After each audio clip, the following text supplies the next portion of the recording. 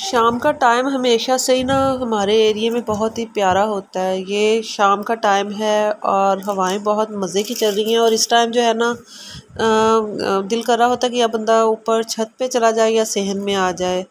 तो मैंने जो है ना क्या किया कि चाय शाम की बनने को रखी फिर मैंने सोचा कि चाय रख दूँ चाय मैंने इलायची वाली बनानी होती है तो इलायची वाली चाय मेरी आदत है कि मैं ना पहले इलायची को थोड़ी देर हल्की आँच पे दूध में अच्छे से वो होने देती हूँ ताकि उसकी खुशबू अच्छी सी आ जाए Is mad? No. No.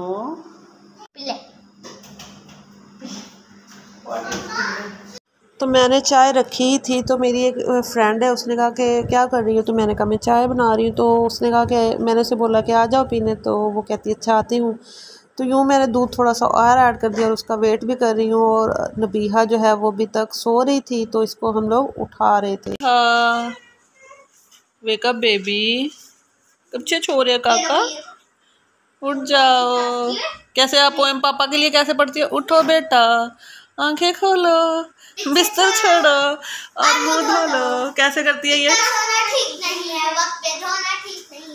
वक्त को खोना ठीक नहीं है। व्हाट इज़ दिस नहीं कोई बेइज्जती नहीं होती। इंसान भूल जाता है ना भाई? This is not big deal उठो बेटा आँखें खोलो। चलो बेटा बच्चों आप लोग क्या आप सीरियसली अब पढ़ना शुरू करो। इट्स टाइम टू स्टडी कितनी देर आप लोगों ने इस टाइम पढ़ना होता है? Yes your your time start now और ये तो उठ ही नहीं रही। और इनको सोते सोते भी ये जो शर्मा रही हैं। नबीहा उठो बेटा आँखें खोलो।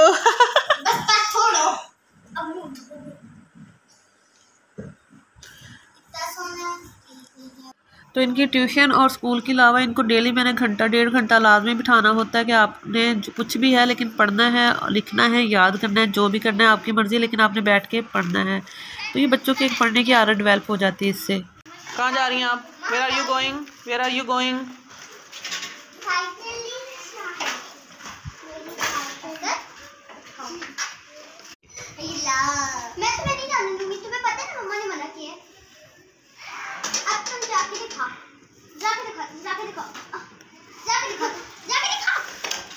नहीं करो बच्चों छोड़ लग जाएगी। और नॉट से तुम्हें आप कहते हैं ना बीहा? बोलो लड़ाई में तुम पे आ जाते हैं ऐसे ना? भैया आपको क्या चाहिए? जाओ इसकी साइकिल छत पे पड़ी है ला के दो बीहा। चलो उससे लेने चले गया छोड़ दो।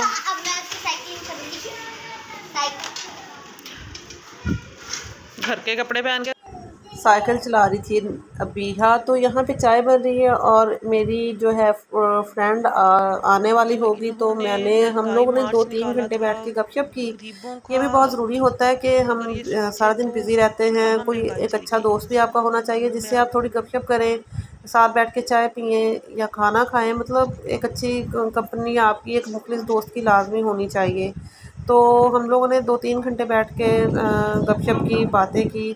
और फिर वो चली गई। तो आज मैंने डिनर में बहुत मज़े की रेसिपी बनाई है, लेकिन वो मैं कल के ब्लॉग में आप लोग के साथ शाम जो है वो शेयर करूँगी कि मैंने डिनर में, रात में खाने में क्या बनाया। तो ये मेरा छोटा सा ब्लॉग था और ब्लॉग कैसा लगा लाजमी बताइएगा और वीडियो पसंद आए तो लाइक कीजिएगा, चैनल को सब्सक्राइब कीजिएगा, अपना बहुत सारा ख्याल रखिएगा। अल्लाह हाफिज़।